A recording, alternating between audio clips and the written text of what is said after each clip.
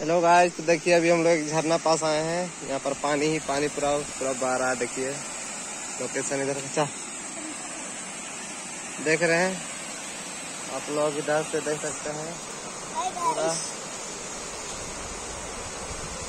झरना पूरा बह रहा है। पानी पूरा शानदार